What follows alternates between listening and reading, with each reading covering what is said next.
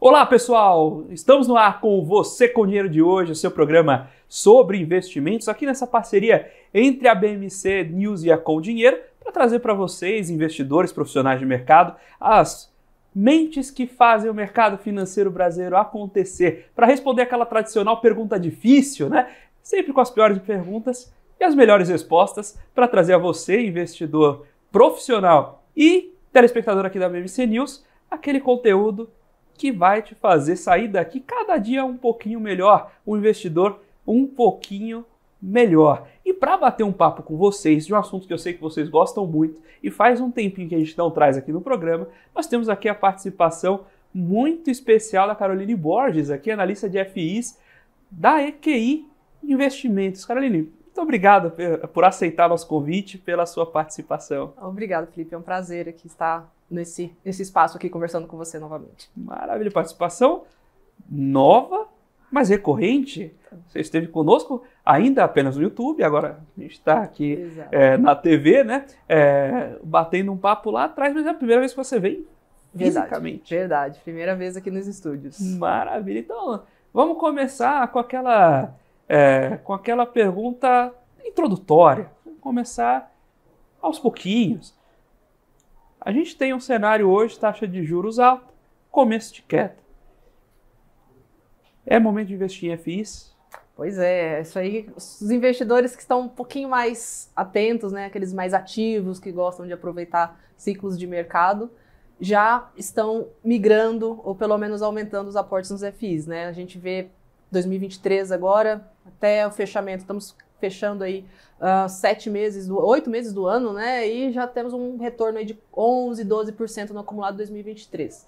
Então a gente está vendo que queda de juros, né? O cenário de juros vai fechando, queda de juros, os investidores acabam percebendo que eles podem não conseguir ter aquela renda tão uh, recorrente ou tão alta como eles estiveram tendo esses últimos dois anos e acabam tomando um pouquinho mais de risco. Então a gente já, tá, já tem visto é, uma, uma, uma, um aumento né, desse, desse volume de investimentos, do volume de negociação, tem refletido no valor das cotas, ofertas. Então, o mercado está bastante aquecido, mas é, temos que lembrar, né? Só começou, né? Só tivemos ali uma, um corte né, até então.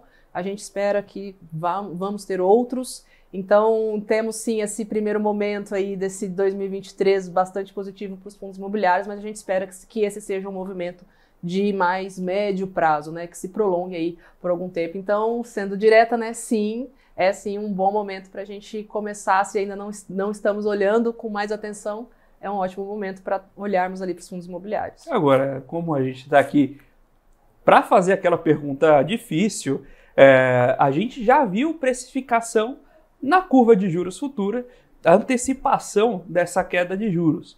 E isso justamente fez com que vários ativos, tanto pré-fixados quanto esses títulos, é, digamos, perpétuos, né?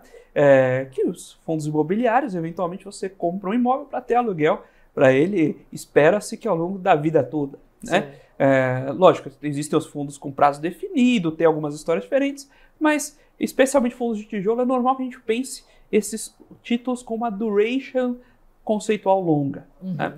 É, agora, se o mercado é, sobe no fato, cai, é, sobe no boato e cai no fato, uhum. né? É, será que a gente não já é, precificou tudo que tinha para precificar nos FIs dessa queda de juros? Pois é, eu, olha, quando a gente está falando, quando a gente pega movimentos assim bem específicos, com um setor específico, com fundo imobiliário específico, aí sim, aí eu acredito que seja, são, são também razões específicas. Quando a gente tem visto movimentos mais generalizados, aí eu costumo dizer que não, é um conjunto de, de, de fatores. Né? Então tem sim a queda de juros. Então, a queda de juros no que eu comentei aqui agora, né? Aqueles investidores tradicionais que estão buscando rentabilizar melhor seu patrimônio, proteger seu patrimônio né, antes de rentabilizar, então proteger seu poder de compra para então rentabilizar esse patrimônio. Estes é, ainda talvez não tenham percebido que eles vão precisar tomar um pouco mais de risco. Porque quando a gente olha é, volume de negociação de fundo imobiliário, é 65%, 70% vem de pessoas físicas. Os outros, né, ali os outros 35%, são institucionais, investidores estrangeiros um pouquinho. Esses costumam se antecipar. O, o investidor, nós que estamos, é, ou mesmo né, quem não, não, não profissional do mercado que está buscando, tem sua atividade principal, sua renda, sua fonte de renda ativa, ele vai, ele acaba esperando essa, essa concretização. Então, sim, tem sim aquela parte dos investidores mais ativos e institucionais que buscam essa antecipação, mas é, boa parte dos investidores acabam migrando e indo tomar mais risco quando eles percebem já uma rentabilidade um pouco menor do que eles estavam acostumados ali na renda fixa. Mas aí tem outros fatores. Queda de juros não é só isso né, que vai influenciar. Então a gente tem valor patrimonial desses fundos. Então, hoje a gente calcula um valor patrimonial baseado numa taxa de desconto essa taxa de desconto caindo, o valor patrimonial tende a subir. Daqueles bons fundos de tijolo, não é tudo, né? São aqueles bons fundos de tijolo, bem localizados e tudo, eles tendem a ter uma valorização patrimonial. Então, isso vai vir mais para frente também. Uh, e tem outro fator bastante é, relevante, que também acaba sendo a, a economia como um todo, né? o operacional desses fundos. Então, quando a gente fala de fundo de shopping, uh, com uma taxa de juros mais baixa, será que as pessoas vai estimular um pouco mais o consumo? E aí você vai ter um aluguel maior, né, aquele aluguel que varia de, de acordo com o que a loja vende. Galpões logísticos, será que também a gente não vai ter um estímulo maior de vendas e vamos ter também um aumento na demanda desses galpões? E lajes corporativas, que ainda é o cenário mais desafiador, ainda está no, no segmento de lajes. Então, é, tem sim, é, como a gente comentou, né, tem sim essa antecipação, aqueles investidores profissionais, alguns né, da, da, investidores de renda de pessoa física né, também são mais ativos, se aproveitam e se antecipam a esses ciclos, mas muitos ainda estão por vir e eu, a, o que a gente viu na história é que é, esses são, são boas janelas para a gente fazer aquisições bastante importantes e que, que, vão nos dar uma rentabilidade bastante interessante daqui para frente. Maravilha. Agora, é, quem está chegando agora nesse universo dos fundos imobiliários, é, que, que a gente acaba é, alcançando públicos distintos, né? É, por que, que o investidor que estava tá, acostumado ali com seu uh, ah, DI, estava ali acostumado a deixar o dinheiro no banco, o que esse investidor, o que, que ele vê é, para buscar o fundo imobiliário? O que, que há de, de, tão encantador nesse mundo específico? Sim, é, olha, é claro, não são excludentes, né? Mas acho que todo mundo tem seu perfil de investimento e tudo, não são investimentos excludentes. Mas quando a gente começa a ver juros, cenários de juros mais baixos, você começa a ver, ver que as pessoas buscam um, uma rentabilidade um pouco melhor do que ela tá tendo, teria, né, numa renda fixa, por exemplo.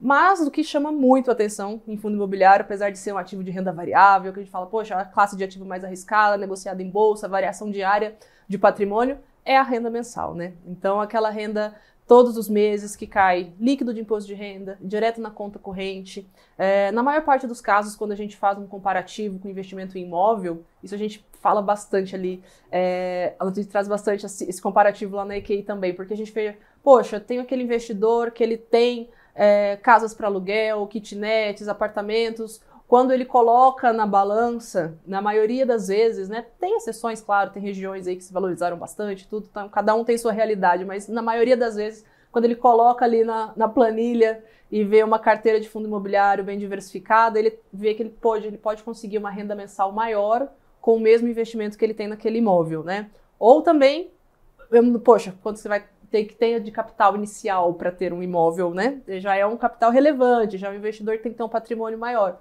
Fundo imobiliário, 10 reais, você já começa a receber dividendos todos os meses. Então, eu acho que o principal chamariz acaba sendo o rendimento isento mensal na conta. E aí depois, conforme a gente vai se viciando, digamos assim, né, em dividendos todos os meses, você vai entendendo melhor, vai estudando, vai entendendo como ele ganha dinheiro, tem dinâmica diferente de um imóvel residencial, né? Você vai perceber que tem sim alterações, tem a questão da flutuação de mercado, mas é, o principal chamariz que a gente vê é que, poxa, brasileiro gosta muito de imóvel, e aí essa renda mensal vinda de um imóvel, aqui a gente falando de fundo de tijolo, né? Que são aqueles que investem diretamente nos imóveis, em participações imóveis acaba é, fazendo com que a indústria tenha crescido tanto aí nos últimos anos. Ah, mas já conta aí pra gente o que, que é essa história de investimento em tijolo. Tijolo, né? O que, que é isso? Então, existem três classes principais de fundos imobiliários. Esse fundo de tijolo que é o mais fácil de ser entendido, né? Que é o que a gente está acostumado e a gente só aumenta, digamos assim, o espectro, a abrangência de investimento. Então a gente tem uma casa, uma sala comercial, um fundo imobiliário ele vai ter imóveis um pouco maiores. Então vai ter galpões logísticos, lajes, shoppings, uh, hotéis, hospitais, tem vários outros setores ali que é então o fundo de tijolo é aquela participação direta em um imóvel. E aí o investidor compra uma cota e ele vai ter aquela fração daquela cota que representa aquele imóvel, ele vai ter direito aos dividendos, né, aos aluguéis que são pagos por quem está explorando aquele imóvel, né, pelos inquilinos que estão ali. Então, o inquilino paga para o fundo, o fundo paga para o cotista em proporção é, que ele possui ali de participação em cotas. Os, a segunda classe é os, são os fundos de papel. Então, fundos de papel, eles investem é, em dívidas imobiliárias. Então, são fundos imobiliários porque tem um lastro. Um lastro, né, ele tem uma garantia ali, uma operação vinda que tem um imóvel por trás. Então, você investe, quem está mais familiarizado com a renda fixa, basicamente os fundos de papel são fundos que têm vários CRIs, né, certificados recebíveis imobiliários ali dentro. Então, você tem uma cesta de CRIs e você consegue comprar uma cota dessa cesta na bolsa. E o terceiro grande grupo de fundos imobiliários são os fundos de fundos, os famosos FOFs. Né? Então, eles, o que, que eles fazem? Poxa, ele, é, ele monta um fundo imobiliário e aí a maioria deles vai lá e compra cotas de outros fundos imobiliários. Eles podem comprar, na verdade depende muito do regulamento, mas eles podem comprar ações imobiliárias, por exemplo. Então, ações de administradoras de shoppings, ações de incorporadoras imobiliárias. Então, depende um pouquinho do perfil ali. É, mas um FOF acaba comprando cotas de outros fundos. Então, comprando um FOF, você às vezes já está bem diversificado, olhando o portfólio, né, olhando a carteira daquele fundo. Então, essas são as três grandes classes de fundos imobiliários que a gente tem hoje. E aí você falou diversificação, me lembra da questão do tijolo, né? Porque ainda que você tivesse, fosse lá, comprar uma casa de 200, 300 mil reais, um milhão de reais, você compra uma casa, né? É, alaga a casa, acabou. não tem jeito. Por mais que, ah, mas poxa, mas aí você está no evento extremo. Tá, mas exatamente, você, como você vai fazer esse tipo de, de gestão? Quando você tem um fundo imobiliário, você pode comprar centenas de imóveis ali, um pedacinho de cada, um tijolo de cada. Perfeito, perfeito. E mesmo um evento extremo, não precisa nem ser tão extremo, você pode estar em períodos de entre contratos. Se você tem um inquilino ali, poxa, se você tem um imóvel que por, é sempre bom, né, esses imóveis que são bem próximos de universidades, né? Porque sempre tem muito fluxo e tudo. Mas a gente esquece que os inquilinos se formam uma vez, um momento. E aí você tem um período ali que você precisa repor aquele aluguel. Então, se você é dono, proprietário daquele imóvel, você vai ficar um tempo às vezes só tendo despesa. Você precisa pagar IPTU, precisa pagar condomínio. Com fundo imobiliário, esses períodos existem? Existem. Mas você tem ali, às vezes, tem fundo imobiliário que tem centenas de contratos de locação. Então, um, um dois, ou mesmo cinco contratos de locação, se eles estiverem, né, cinco áreas ali que não estiverem sendo ocupadas, o impacto na receita para o cotista acaba sendo ínfimo, né? Não é tão brusco quando ele tem só um único imóvel. Se ele tem um imóvel, pronto. Ah, o inquilino resolveu rescindir, precisou sair, ou precisei fazer uma renegociação, você tem um impacto brusco na receita. Então você estava recebendo X, está recebendo zero agora e precisa reocupar o imóvel. E nesse momento, nesse, nesse entre tempos aí, você precisa arcar com as despesas daquele imóvel. Então é bem. É, essa também, né? Eu falei ali dos dividendos mensais, mas esse também é um dos, uma das grandes vantagens. Essa diversificação que vai te permitir ter uma previsibilidade de renda, né? Que é tão importante quando você chega em determinado momento da vida que você vai utilizar aqueles rendimentos para pagar a parte das suas contas e tal, vai utilizar isso como uma complementação para sua aposentadoria. Então, se você, você não quer estar lá na sua aposentadoria e ter uma queda brusca, né, uma oscilação muito brusca na sua renda. Então, é. os fundos imobiliários permitem isso também. E você contrata o aluguel, né? Você não contrata um quando você compra uh, o yield, você não está comprando o percentual você está comprando o fluxo de caixa. Então, isso para muitas vezes o investidor pensa, puxa, mas aí o título subiu, diminuiu o meu yield. Tá, tudo bem, mas isso pouco importa, você vai continuar recebendo aquele montante contratado. Isso para previsibilidade de renda é muito importante. É muito importante. E aí você tem isso mesmo, é, você compra aquele fluxo de caixa. E aí você tem reajustes. Então, poxa, é um contrato de cinco anos com reajustes anuais pelo IPCA. Então você já tem uma proteção de renda também ou com uma multa muito grande. Então, ah, eu vou fazer um contrato com um galpão logístico que é muito específico, aquela operação é muito específica. Você quer ter uma garantia, então eu vou te locar por 20 anos. Construir isso para você de acordo com as suas necessidades. O fundo imobiliário pode fazer isso. E aí ele faz, ele amarra esse imóvel em um contrato mais longo. Porque, poxa, eu não quero construir um imóvel para o inquilino ficar ali e ele sair depois de dois anos, um imóvel muito específico que eu não vou conseguir locar novamente. Então você amarra no contrato bem longo, 20 anos, por exemplo, 15 anos, corrigidos pelo IPCA e com uma multa muito significativa. Então, isso também traz bastante segurança e bastante previsibilidade aí de, de quanto você vai receber. Claro que tem problemas, né? Como tudo, né? Pode ter problemas aí, é, entrar na justiça por algum problema, o inquilino pode ter algum problema de saúde financeira mesmo, mas é por isso que a gente fala da diversificação, né? Que isso não vai impactar tão fortemente a, re a receita do cotista ali na ponta final. Naturalmente, tem os projetos de Build to Suit, não é isso? Isso. E, e da, é, retrofits também, que também. têm sido muito comuns, que é você trazer não só simplesmente a, o rendimento do, do imóvel, mas é, agregar serviços. Então, a reforma, a própria construção, personalização, você vai gerando mais valor para o fundo imobiliário, naturalmente distribuindo ao cotista, com um pedaço do risco que a gente sabe. Então, você vai comprar um, um fundo como esse, eventualmente um fundo monoativo, etc. Dá uma olhada no contrato, dá uma olhada. Não é porque você está comprando o fundo que você também vai desligar a, a chavinha. Vá olhar lá o que você está comprando. Você comentou sobre período. É, espaço entre contratos. O problema é que a gente é, ouviu muito nos últimos anos é, para os fundos imobiliários uma questão, não necessariamente um problema, mas uma coisa que levantou ali as orelhas do mercado financeiro quando olhava para o fundo imobiliário é vacância. Né? É, repensar as estruturas produtivas, se as pessoas vão para home office ou não, se elas estão voltando de home office ou não e para onde elas vão, isso tudo impactando os fundos. A gente tinha, é, a gente tem aqui em São Paulo uma concentração é, bastante interessante aqui no eixo é, Faria Lima, aqui no Itaim, mas outros hubs, uh, Berrini, Paulista, sofreram muito com vacância no pós-pandemia. Como está o cenário de vacância dos fundos imobiliários hoje? Isso. Falando então desse cenário, quando a gente está falando dos escritórios especificamente, é, a gente chama essa região aqui, região aqui da Faria Lima, JK, a gente chama de região primária.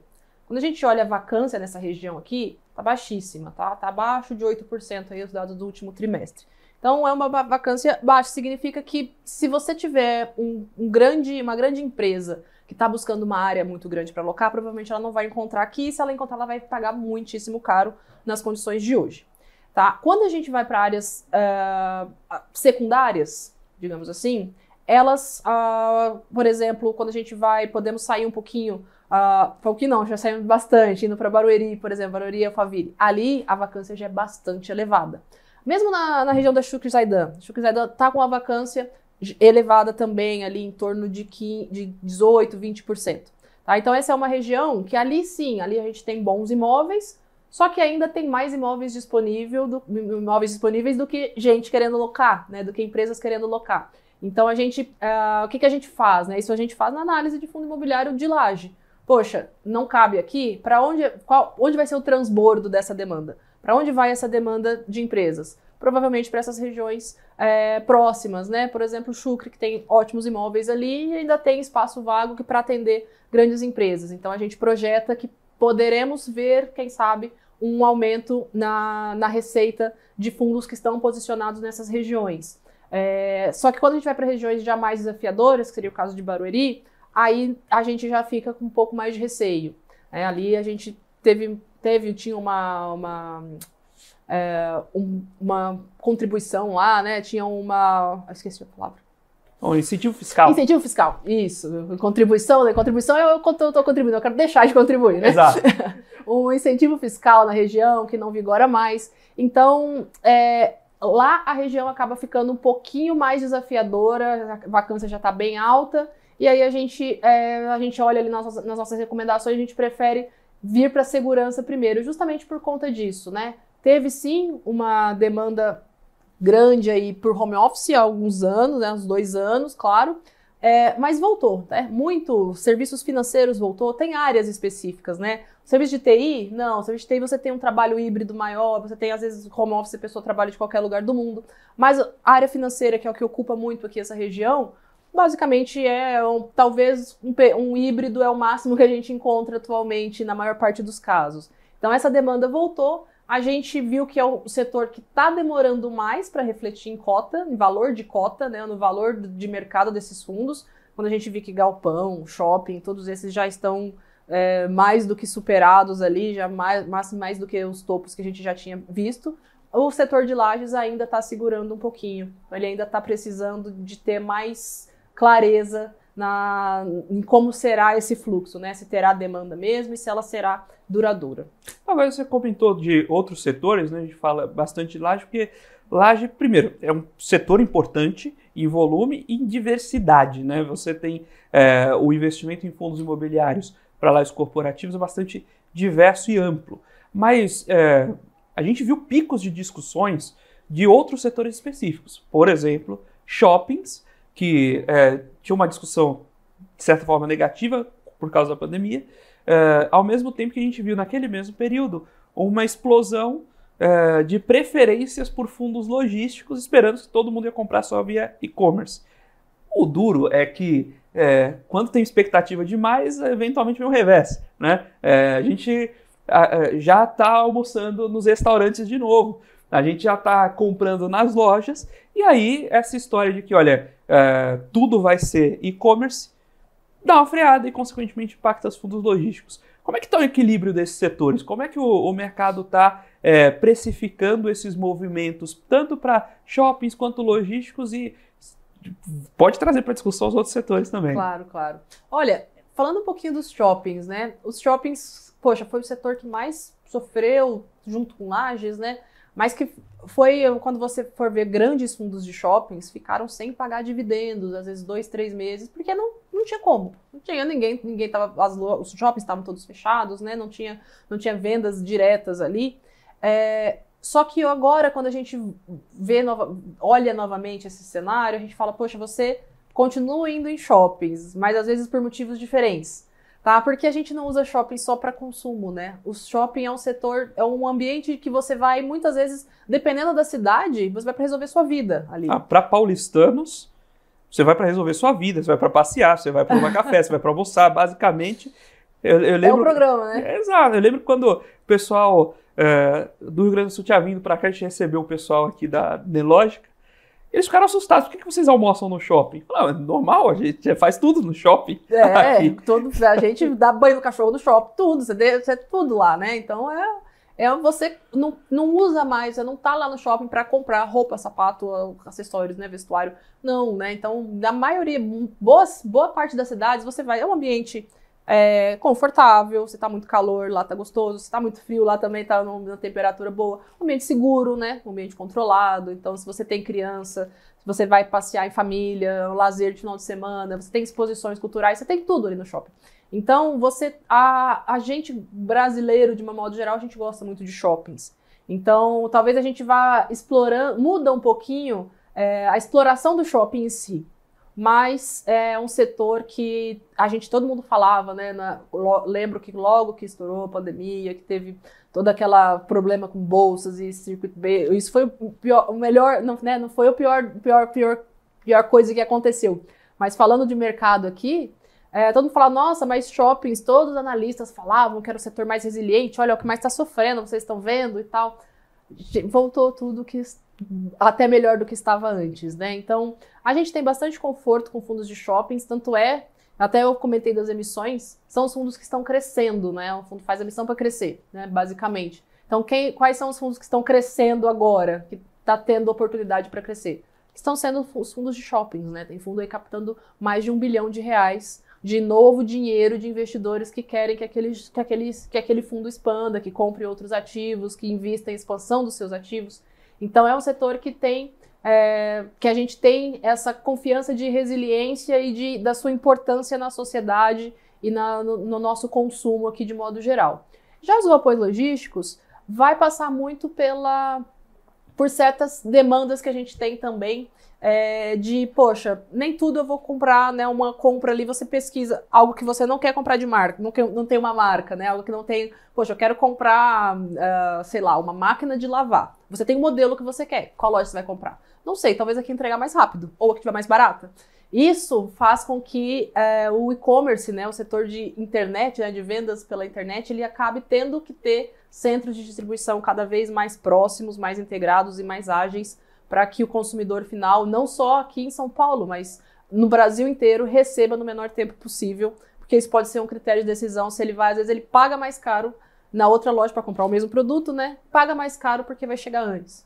Né? Então você tem essa, essa demanda de qualidade de serviço de entrega também. Então muda é uma é um setor que a gente tem quando a gente olha aí a gente fala né galpões raio 30 né que são aqueles galpões bem próximos de grandes centros, que são aqueles que fazem realmente a entrega para o consumidor, né? Sai do galpão para sua casa. Esses galpões também a vacância é mais é uma, tá uma das mais baixas de todos de toda a série histórica. Então tem também voltando bastante essa demanda e esse giro aí de, de, de mercadorias e de, de vendas online também. Então a gente está bastante confiante aí nesses fundos de tijolo aí, falamos, né? As lajes como a gente comentou anteriormente, é o que está ainda precisando ter mais um estímulo e está precisando ver um cenário um pouquinho mais amigável. Mais galpões e, e, shoppings, que são os outros dois grandes setores, já temos ali um certo, um certo otimismo com eles. Ali é, dá para fazer um paralelo dos galpões com essa a questão da zona primária e secundária. Essa questão do é, raio 30, o que, que seria o mais periférico? Isso, o raio 30 seria é, um galpão que está. Geralmente a gente fala aqui de São Paulo, né? Mas um, um galpão que está localizado em até 30 quilômetros do centro de São Paulo. Então aqui é a região de Guarulhos, né, a região ao redor aqui, tanto é que nem tem, não tem nem muito espaço mais para construir galpão ali. Então aí vai, você vai para o raio 60. O raio 60 já está a 60 quilômetros de São Paulo. Mas ainda já dá para fazer uma, uma entrega no mesmo dia, né? Então você ainda tem um. Você vai ter um aluguel um pouquinho mais barato lá, porque daí o custo de transporte vai ser maior. Mas também você tem aquela vantagem de você ter mais galpões disponíveis e tudo mais. Então, essa é aquela é o conceito que quem lê os relatórios aí vai, vai encontrar é o last mile, né? Que é a última milha, o último, último, a última etapa mesmo de, de entrega ali. Agora, dos FIs de shopping. Por que um FI de shopping e não administradora de shoppings, por exemplo? Eu vou comprar um fundo imobiliário que compra shopping, se não vou lá e compro logo na bolsa uma Multiplan, um Iguatemi, um Aliança Sonai? Sim, são, são estruturas um pouquinho diferentes, né? A Multiplan, a Aliança são é, empresas. Um fundo imobiliário é um fundo de investimento. Então, primeira grande diferença, a empresa você tem um conselho, um presidente, você tem funcionário direto. Um fundo de investimento ele tem a figura do administrador e do gestor.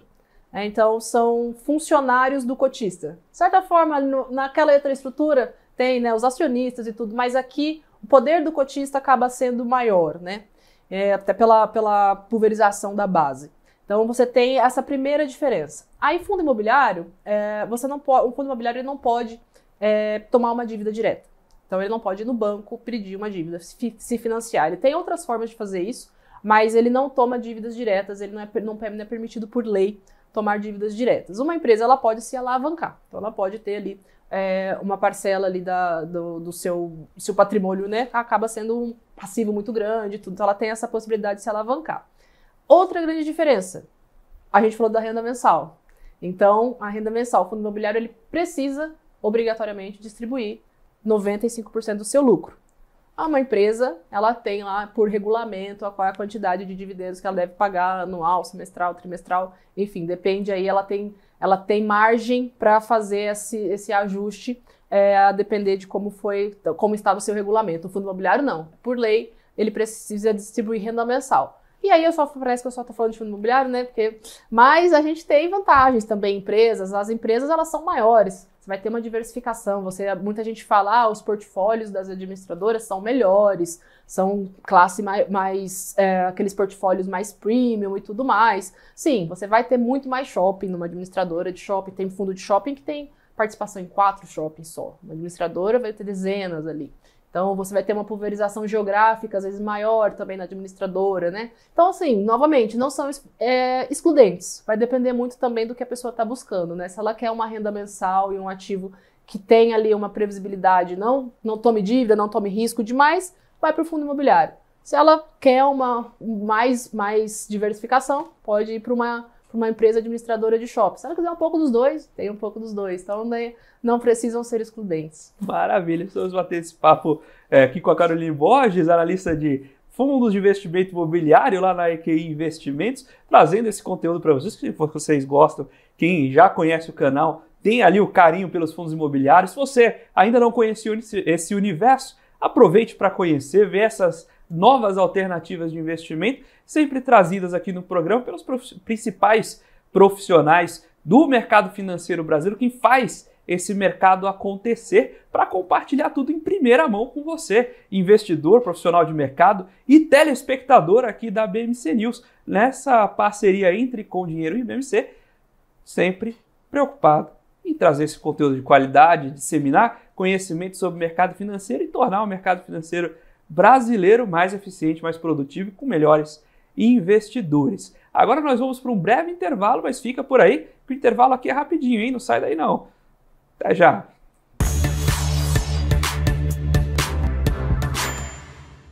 Olá pessoal, estamos de volta aqui com você com o dinheiro de hoje, batendo papo com a Caroline Borges, aqui analista de fundos de investimento imobiliário na né, EQI Investimentos, sobre é, um pouco desse mercado, o que que, para quem está chegando agora, o que é esse mercado e como investir, por que investir, e para quem já está nesse mercado, o que que tem de leitura do momento, o que que dá para aproveitar, quais são as ondas para surfar? E quais são as questões difíceis para responder também, né? Aqui a gente não tá para moleza não, aqui a gente vai nas perguntas duras mesmo. Inclusive, falando em perguntas difíceis dentro de fundos imobiliários, a gente falou bastante fundo de tijolo. Inclusive, fundo de tijolo é didático, justamente para entender o que é o conceito de fundo imobiliário, mas nós vimos uma onda interessantíssima de fundos de papéis logo antes. É, só que no meio dessa onda de fundos de papéis, é, havia uma pedra no meio do caminho. Essa pedra foi uma onda negativa para crédito privado. E muitos dos fundos de papéis, é, o pessoal às vezes deixa passar que você tem ali um fundo de crédito privado. Né?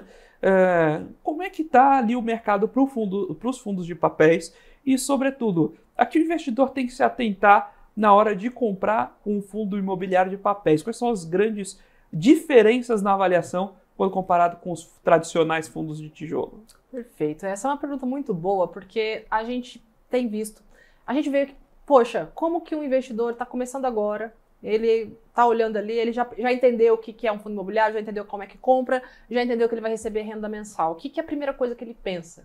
Na maioria das vezes, ele vou comprar porque está pagando mais dividendo mensal. Então ele vai querer receber mais dinheiro, como todo mundo quer. Só que a gente sabe, né? Não tem, você não, não, você não é remunerado por um risco que você não toma. Então você está recebendo bastante dinheiro, seu dividendo está alto, muito provavelmente é porque você está tomando um risco alto. Então, é, primeira, primeira grande alerta, né, para quem está começando, para quem quer investir em fundo imobiliário, não é o investimento não deve ser feito pelo dividend yield, não deve ser feito por essa rentabilidade de proventos. Isso vai te é, ajudar a não cair em determinadas armadilhas ou, ou incorrer riscos, porque não tem nenhum problema em correr risco, desde que você saiba o risco que você está correndo, desde que você saiba se expor a esse risco. E quando a gente fala de fundo de papel, são dívidas. Então, são fundos que estão investindo em dívidas imobiliárias. Então, são certificados de recebíveis. Se você está emprestando dinheiro para alguém que está cobrando uma taxa por isso, é porque você tem um risco que essa pessoa não te pague de volta, ou essa pessoa, ou essa empresa, no caso de um fundo imobiliário. E esse risco é o que você está sendo remunerado. Então, é, se você tem esse risco que a pessoa não paga de volta, estatisticamente vai acontecer algum problema em algum momento. Senão ninguém receberia nada, né? Você fala, não, sempre todo mundo paga, então ninguém vai te querer remunerar mais por isso. Então, estatisticamente, vai acontecer problema. Você, a gente tem que ter ciência disso. Então, aí a questão que está é, se você estiver exposto àquele segmento que estatisticamente é o que acontece mais problemas, a sua exposição vai ser complicada demais. Né? Você vai incorrer riscos demais e às vezes você não sabe que você está fazendo isso. Esse é o principal problema. Então, quando o investidor ele vai investir em fundos de papel, é importante que ele entenda o que é que ele está financiando. Então, se ele está financiando o quê? Ah, é uma empresa, é uma incorporadora. Ela constrói imóveis residenciais e depois ela vende aqueles imóveis na planta que talvez até a gente já tenha comprado em algum momento na vida, conhece alguém que comprou. Aquela incorporadora, aquela, ela consegue dinheiro onde, se ela ainda não vendeu as unidades? Ela emite um CRI. E aí você tem todo o risco daquela obra. Esse risco você quer correr? Se você entender e falar que sim, ok, sem problemas, você vai ter uma remuneração por isso. É, então existem vários outros segmentos. Tem segmentos uh, corporativos, de galpões logísticos, inclusive. Ah, eu tenho todo esse fluxo aqui, eu tenho 20 anos de aluguel para receber desse contrato que a gente falou anteriormente. Mas eu quero receber ele hoje. Eu vou emitir um CRI, eu vou receber esse dinheiro hoje, e conforme eu for recebendo esses aluguéis, eu vou pagando quem me emprestou esse dinheiro hoje. Eu quero correr esse risco? Não me parece bem menos arriscado do que a incorporação? Parece. Então, pode ser que eu vou receber menos, mas eu tenho maior certeza que eu, vá, que eu vou receber aquele dinheiro novamente. Então, é importante que o investidor ele entenda o fluxo de pagamentos que está acontecendo ali, da onde vem, não precisa entender a matemática do negócio, mas ele precisa saber da onde vem, o que é que ele está financiando. Ele está financiando uma incorporação residencial, ele está financiando uma incorporação turística, hoteleira, um galpão logístico que já está alugado, já tem um contrato, você só está antecipando aquele fluxo de pagamento. Então ele tem que entender isso e ele vai ter remuneração diferente para o risco que ele está tomando. E isso é importantíssimo, porque aí você vai saber dosar, você vai entender qual é o seu perfil de risco, e você vai falar, não, eu quero um pouquinho de todos. Mas eu vou pegar um pouquinho mais desse aqui, que eu sou um pouco conservador, eu quero, vou me expor um pouco mais desse aqui, que eu tenho mais uma garantia maior que eu vou receber meu dinheiro de volta, e eu vou tomar um pouquinho menos de risco aqui, que eu vou receber mais, mas eu tenho mais incerteza ali envolvida. Então, é muito importante que saiba o que é que você está financiando ali. Não é, é apenas um código né, de quatro letras ali piscando que você compra e espera que caia como um reloginho na sua conta. Se fosse assim, ninguém pagava prêmio de risco, né? Então, é importante entender essa dinâmica, que é bem diferente, né? É tudo fundo imobiliário, mas é, é completamente diferente, né? A dinâmica de recebimento. O que você mencionou, a gente teve um problema bem específico, né, do setor de multipropriedade. Então não foram todos os fundos de papel, mas ali o setor específico de multipropriedade passou, tem passado, né, inclusive por momentos muito complicados, porque pensa, é, a gente emite essa dívida a quanto? Ah, vou emitir a CDI mais 7. Poxa, a CDI está 2, há um tempinho atrás, 3, CDI mais 7, 10%, consigo pagar. Agora a CDI dá 13, eu estou devendo 23% ao ano minha operação consegue fazer com que eu pague isso? Então, o juros subindo, você, o investidor do outro lado está feliz, né? Que ele está recebendo dividendo alto e tudo, ele esquece que tem alguém que tem que pagar aquilo. Então, tem que ter essa, esse cuidado, conseguir se expor aí de maneira adequada e entender ali um pouco, minimamente, o que é que ele está investindo no, no, no, final do, do dia ali. É, exatamente. Você vê lá CDI mais 7, pode parecer ótimo, né? Mas aquele negócio, não adianta você falar, olha, eu não recebi, mas eu cobrei caro. Não adianta. Não adianta. Você tem que é, cobrar o suficiente que faça você receber. Perfeito. É igual banco, você acha que o banco fica super feliz o cliente cheque especial? Mais ou menos. Geralmente o cara que entra ali dificilmente sai. Então é melhor você emprestar baratinho ali a 5% ao mês no crédito pessoal, né? baratinho. é você tomar esse, esse crédito de, de, de cartão de crédito. A mesma coisa é para um fundo de é, investimento imobiliário em papéis. Exato. CDI mais 2, CDI mais 3, provavelmente você está emprestando para um empreendimento saudável. CDI mais 7, será que esse cara vai ter condições de pagar se as taxas de juros se esticar? Esse é o grande ponto. Exato. E você bem colocou, muita gente conhece gente que comprou um imóvel na planta. Desse, e desse grupo, alguém não recebeu. Isso. Ou alguém teve que pagar mais do que o acordado anteriormente, porque o custo de construção subiu, a obra atrasou. alguém conhece algum problema, né? Não, esse mico é o que você está financiando. Então, inclusive serve a outra ponta para quem for estar tá comprando um imóvel na planta. É, se o, a incorporadora aceita, é, reduz, aceita antecipar recebíveis, a CDI mais 5, 6, 7 no CRI, se você vai comprar imóvel na planta, não caia naquela conversa que, não, você paga o preço de mercado hoje, porque lá na frente você vai vender mais caro. Não. Você tem que cobrar desconto agora. agora. Porque você não está com o imóvel na mão e aquela construtora precisa. Se você está comprando imóvel na planta, você não tem ali uma boa taxa de desconto de. É, hoje a gente está com Selic a 3, até maldade falar disso aqui no ar. As construtoras vão, vão vir reclamar comigo depois. Se você não tem uma taxa de desconto de 18%, 17, 18% ao ano para o fluxo da obra, tá errado. Espera para pagar depois, espera, no limite, espera para comprar depois. Exatamente, exatamente. Senão a conta não fecha. A conta não fecha. Senão a conta não fecha. Faz o seguinte: vá lá ver a obra, descobre onde está o CRI, compra o fundo imobiliário, deixa o dinheiro lá, quando depois você compra com dinheiro depois no fundo imobiliário. Depois com o dinheiro do rendimento do fundo, exatamente. senão, não faz, senão a conta não fecha. Agora você comentou que não é uma boa comprar ali o fundo imobiliário olhando só para o dividend yield. Você pode cair numa série de ciladas. Você contamina o dividend yield com amortização sem Sim, ver. É isso também, verdade. Tudo mas se esse não é um bom indicador, o que, que você olha para escolher seus fundos imobiliários? Perfeito, Felipe. É uma pergunta bem pertinente, porque se a gente não pode analisar aquele que a gente está vendo diretamente na nossa conta, o que, que a gente olha? Falando de fundo de papel especificamente, é, um fundo de papel, a premissa dele é que ele tem muitos CRIs ali dentro. Então ele vai ter, tem fundos de papel que tem mais de 90, 95 CRIs ali dentro. Então você não vai conseguir analisar cada um desses CRIs. Então um, uma, um indicador importante, que acaba não sendo um indicador é, mensurável, mas é a gestão. Então, uma boa gestora que ela consegue acompanhar essas operações que a gente comentou, que ela consegue compor essa carteira da, da maneira como ela se propôs a fazer, porque você, investidor, ó, eu quero investir em um fundo de papel de risco mais baixo. Então a gestão se propõe a entregar um fundo que tem esse risco mais baixo, que tem esse, esse acompanhamento de operações que assumem menos risco, que tomam menos risco. Então a gestão ela é o principal, porque no final das contas, se tem 90 crises ali dentro, o investidor, mesmo analistas, a gente não tem como olhar todos eles no, no detalhe, né? Então você confia justamente esse delega e confia e remunera o gestor para fazer esse trabalho por você. Então você tem que olhar o histórico dessa gestora. E aí essa gestora ela vai olhar outros aspectos. Então ela pode olhar a garantia. Então, quanto que aquele que tem de garantia? Ela está emprestando, estou emprestando a cada 100 reais, eu tenho quanto de garantia ali dentro? Então, onde estão essas garantias? Ah, eu estou te dando 200 reais de garantia para cada 100 reais que você me empresta, mas esses, 100 reais, esses 200 reais estão é, o maré turbo. No maré turbo, pensa.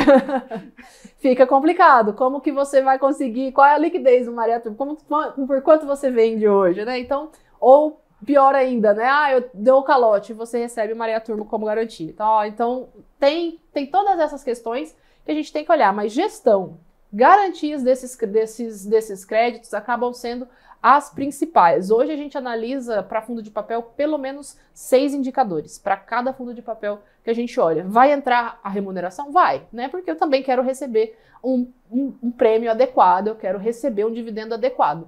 Então isso também entra na análise, mas ele nunca pode ser o seu primeiro ponto de análise.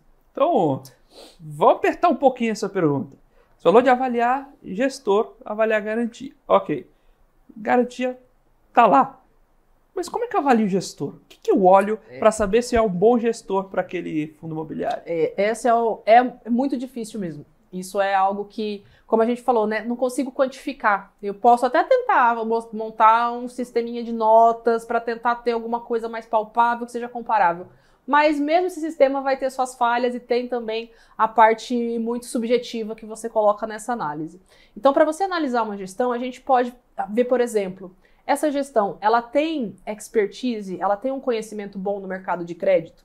Porque fazer crédito, né? Porque geralmente essas gestoras, elas originam, estruturam, então elas, elas têm todo, todo o que está por trás daquele CRI, elas acompanharam. Elas têm uma expertise nisso? Elas têm uma equipe que estão acompanhando essas, essas operações? Uh, o histórico. Então, como que foi em momentos como esse que a gente passou, momentos de juros mais altos, a gente falou de setores que tiveram problema, mas todo mundo ficou com crédito apertado. Todo mundo que toma dívida no mercado teve que o seu custo, sua despesa financeira subiu bastante. Então, como que ela fez com isso? Ela conseguiu fazer uma boa negociação, ela conseguiu dar carência, ela conseguiu dar suporte. Então, tudo, todo esse acompanhamento, você pode, você olha um pouquinho para trás. Você tem que olhar o que, que ela fez em momentos como este, porque na hora que você tem um cenário positivo, um cenário otimista, um cenário, entre aspas, mais fácil, aí você tem que muita gente aparece, muita gente sabe fazer. Em cenários de crise, cenários mais complicados, cenários de estresse, quem é que conseguiu, se, conseguiu contornar a situação?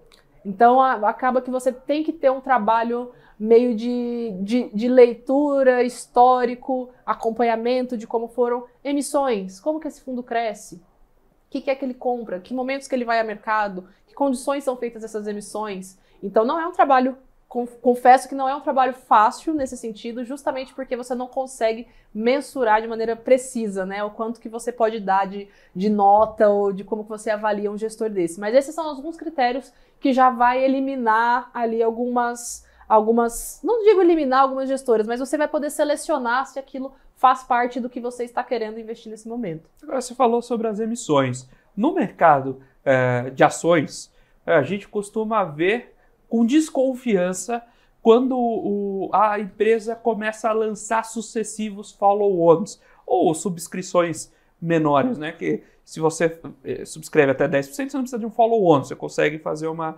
É, só lançar o recibo de subscrição e assim por diante. Para os fundos imobiliários, também é um sinal negativo o, o, fundo que fica fazendo sucessivas emissões? Aí é um pouquinho diferente. Por quê, né? Os fundos imobiliários, eles precisam entregar para o cotista praticamente todo o lucro. Ele só pode reter 5%. Então, quando ele retém esse 5%, ele ia demorar muito para que de 5 em 5% do seu, da sua receita ele consiga comprar um novo imóvel. Então hoje, né, a gente tem que, poxa, no futuro, quando esses fundos forem maiores, eles tiverem ali algumas centenas de imóveis e já tiverem uma, uma capacidade ali de uma geração de receita bem forte, provavelmente a gente vai ver que essas emissões acabam, vão acabar diminuindo um pouco. Mas agora, não. Agora, se o momento de mercado está bom e o fundo quer comprar algum imóvel, ele percebe que ele pode ter uma boa negociação, vai comprar ali com uma taxa bastante atrativa, que aquele valor de mercado está abaixo dos pares, então ele vê uma oportunidade ali, ele não consegue não distribuir. Então eu falo, vou reter um pouco do lucro e vou comprar esse imóvel porque vai ser bom. Às vezes vai até ser bom, mas ele não pode fazer isso por lei. Então ele tem que emitir novas cotas. Então é, é um outro aspecto importante para se avaliar essa emissão de cotas, porque essa emissão ela tem que ser, não é para crescer por crescer. Ele tem que crescer, ele tem que comprar imóveis de preferência melhores do que ele tem em portfólio, ele tem que conseguir aumentar a receita, então aumentar a renda no final das contas para o cotista. Então, de nada adianta ele ter um excelente portfólio de qualquer coisa, por exemplo, um excelente portfólio de, de lajes, e ele está lá, olha, esse fundo compra só lajes em regiões primárias de vacância baixa, que a gente tem uma pulverização de, de inquilinos. Excelente. Aí ele vai lá ver uma oportunidade em outra região do país, que é secundária e tal, e ele emite cotas para comprar ali. Não tem nada de errado, só que ele saiu daquele objetivo daqueles, daqueles investidores que queriam investir naquilo, agora eles estão investindo em Aí seria melhor regiões. abrir outro fundo. Exatamente, que ele pode sim poder abrir outro fundo que tem um objetivo específico e aí ele vai atrair investidores que querem se expor àquele tipo de região, àquele tipo de imóvel. Então tem que analisar como que foi o crescimento desse fundo. Ele cresceu emitindo cotas dentro do que ele se propunha a fazer, ele conseguiu remunerar bem o seu cotista. Então, ao contrário de ações, ações sim, né? É, seguidos follow-ons, consecutivos follow-ons acende o sinal de alerta para as ações, mas no fundo imobiliário é a maneira que ainda nós temos para o fundo crescer. Ele não consegue crescer é, organicamente, né? Demoraria muito para ele crescer dessa forma nos moldes que a gente tem hoje, né? É, nesse sentido, até inverte um pouco a lógica, porque o que importa para você é o gap entre oportunidades de mercado e o seu preço. Então, se para ações, usualmente você vai emitir você vai emitir novas ações, quando você entende que os múltiplos estão muito esticados, possivelmente para fundos imobiliários você vai tentar pegar o, o, o momento que os múltiplos estão pouco esticados justamente para comprar mais barato, mais barato, no mercado e aproveitar esse gap. Exato, não é sempre tão. Os bons gestores conseguem fazer isso. Que eles chegam em momentos em que tá com aquele imóvel lá que você sabe que é mais caro, mas a liquidez do mercado real tá baixa, ele consegue identificar essas oportunidades, fazer uma emissão boa, comprar, adquirir aquele imóvel. Então ele vai tentar ir a mercado nessas condições em que ele vai ver que tem um retorno maior para ele se ele fizer essa emissão. Então, os bons gestores, né, que a gente pode olhar nos no histórico aí de emissões, a, o ideal é que eles consigam fazer isso para estar sempre fazendo compras que estão vão rentabilizar bem, vão aumentar o dividendo para o cotista depois. Agora, o mercado também, o mercado de fundos imobiliários tem algumas ondas, né? Eu lembro que lá em 2016, 15, até 17, você tinha um, um volume importante de fundos de agências bancárias. Então era um fundo uh, monoinquilino, mas que é, era muito pulverizado em região. Uhum. É, e geralmente esse inquilino tinha uma qualidade de crédito boa, então é, a galera olhava aquela oportunidade como uma chance de se diversificar em região, ao mesmo tempo você não tem que ficar monitorando qualidade de crédito de N, é, de N inquilinos distintos. Né? É, mas essa onda, de certa forma, passou. A gente vê grandes expoentes dessa época, né? BBPO11, quem está chegando mais agora no mercado nem ouviu falar mais disso. Exato. Né? É, e, primeiro, uma curiosidade, né? Por que, que essa, essas ondas se formam e, e, e, se desfazem, né? E, segundo, qual o alerta, né? De, na hora de buscar essas alternativas, é, também não uh, migrar muito por aquela onda e acabar, sei lá, caindo num fundo que, que é, mono inquilino, é mono, é, é, é, é mono imóvel, né? E você ainda, sei lá, está numa cidade que só tem uma empresa lá, a empresa sai acaba o fundo. Então, como, como é, é, de onde vêm essas ondas, né? Como aproveitá-las eventualmente, mas também como ficar atento de não é, mergulhar e sair, e sair machucado. Perfeito, perfeito. Isso passa muito, é que o pessoal gosta de chamar, né, do amadurecimento da indústria. Lá, quando os fundos imobiliários nasceram, o regulamento, o que, o que, o que todas aquelas linhas, aquelas diretrizes que o fundo deve seguir, o fundo ele nascia com o propósito de comprar determinado imóvel. Tanto é que quando você olha lá no iníciozinho do, dos fundos imobiliários, você vai ver que o setor preponderante é o de laje corporativa, é o que dominava o IFIX, nem existe o IFIX ainda, mas se existisse era, os, era o setor de laje corporativa. E ele era, esse fundo foi constituído para comprar o imóvel tal na cidade tal, alugado para tal. Foi assim que os fundos imobiliários nasceram aqui no Brasil. Então, esses fundos, se você for olhar, eles são bem antigos. E aí, a gente foi, a, a, indústria foi, foi crescendo, a indústria foi amadurecendo, você conseguiu ter uma, os, os, os administradores, os gestores foram vendo que era sim uma forma importante de financiamento e de investimento na indústria imobiliária como um todo, que o investidor, pessoa física aqui no Brasil, gosta muito desse veículo, tanto é que veio com isenção de dividendos e tudo mais, tudo para fomentar o, o, a classe de ativos no Brasil. E aí essa indústria começou a ficar mais, é, mais maleável. Então você fala, não, então agora eu não vou, não vou abrir um fundo imobiliário, não vou lançar um fundo imobiliário para comprar determinado imóvel. Eu vou lançar um fundo imobiliário para comprar uma determinada classe de imóveis. Então você vai olhar no regulamento do fundo, eu invisto em galpões logísticos. Alguns acabam até dando uma trava. Eu invisto em galpões logísticos em determinados, determinado tipo de contrato. Então vai ser sempre galpão logístico com contrato atípico, por exemplo. Isso está no regulamento do fundo, e aí ele consegue, é, tem, consegue se segregar de certa forma. Mas hoje, para um fundo nascer, falando, não, eu estou, estou emitindo cotas no mercado aqui pela primeira vez porque eu quero comprar tal imóvel. Isso não existe mais, isso passou. Então, foi o que, o que, a, o que chegou para a indústria, o que a gente conheceu lá nos primórdios, lá nos, no final dos anos 90, 90, 93, 94, e daí nos anos 2000 começamos a ter um fluxo maior o IFIX chegou lá em 2012.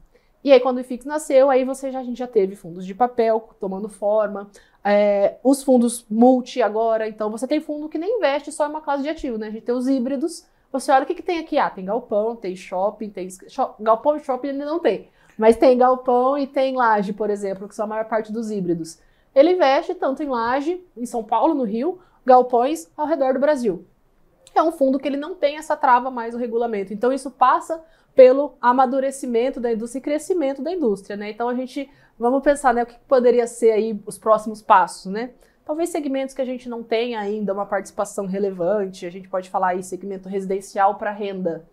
Quase não tem, né? Tá crescendo agora, tá surgindo. Em fundo imobiliário, né? Residencial para renda, você vê mais o investidor diretamente fazendo isso. Mas os fundos imobiliários, se você for ver, quase nem tem. Tem uma barrinha lá da participação do IFIX. E tá crescendo. Você tem aí o que popularizou ali esses short stay, né? Que você loca para ficar alguns dias como se fosse um hotel, só que é um apartamento. Tem fundo imobiliário que já está investindo nesse tipo de ativo. Então vai, amadure vai amadurecendo e talvez o que a gente olha hoje como muito bom, que eram aqueles fundos que compravam determinados imóveis, talvez a gente pode olhar daqui uns 10, 15 anos vai ter coisa ainda melhor, né? Tomara, né? Isso significa que estamos evoluindo sempre. Maravilha. Agora está caminhando ali para o fechamento. Queria que você é, comentasse um pouco, quem quiser, quem está assistindo a gente, quer continuar acompanhando vocês, é, ver os materiais lá da IK, eu sei que vocês fazem um trabalho muito bacana com fundos imobiliários, né, cedendo esse, é, esse research é, para de maneira inclusive gratuita, né, para os investidores. Então, quem quiser procurar saber mais, acompanhar fundos imobiliários com vocês, quais são os canais? Perfeito. Hoje você pode acessar todos os nossos relatórios. Eu faço as recomendações de fundos imobiliários lá na IK Research. Então, a gente tem carteira recomendada, tem umas coberturas de fundos que não estão na carteira recomendada, mas que a gente também cobre, porque a gente sabe que tem uma demanda, que tem investidores que têm já a sua carteira montada, então a gente cobre esses fundos também. Eles podem achar a gente no Instagram, que é o arroba EQI Research, ou no meu próprio Instagram, que é carol.fiis. Lá você vai ter um link para fazer o cadastro, você só cria um login, uma senha, você vai se cadastrar e vai ter acesso a todos esses materiais. Então é completamente gratuito, é completamente gratuito, será ainda, não temos, não é algo, não é um período de degustação, nada disso. É um serviço que a gente oferece para que você possa investir melhor, para que você possa conhecer a EQ Investimentos e é, conhecer mais o nosso trabalho, confiar mais no nosso trabalho e a gente vai ter uh, ações, renda fixa, fundos imobiliários, você vai encontrar tudo lá, acesso completo. Maravilha, Carol, muito obrigado. Então, pessoal, sigam lá Carol é, Fiis. Carol, muito obrigado pela sua participação, muito obrigado por estar aqui mais uma vez e dessa vez em 3D. Tá vendo? No é estúdio. Verdade, né? é verdade. É, muito obrigado mesmo, foi um excelente papo e eu espero que a turma também tenha gostado bastante. Obrigada, Felipe. Maravilha, pessoal. Muito obrigado, muito obrigado, Carol. Muito obrigado, pessoal da IQI, por liberar aqui a participação é, da Caroline aqui para esse bate-papo conosco. Naturalmente, muito obrigado a você, investidor profissional de mercado e telespectador aqui da BBC News, pela sua companhia, pela sua audiência. Nós fazemos aqui o Você com Dinheiro, essa parceria entre a Com Dinheiro e a BBC News, para você, investidor, sair daqui cada dia um pouquinho melhor, sempre trazendo as cabeças que fazem o mercado financeiro brasileiro acontecer para esse bate-papo com vocês. Nós vamos ficando por aqui com você com dinheiro de hoje. Até amanhã, nesse mesmo horário.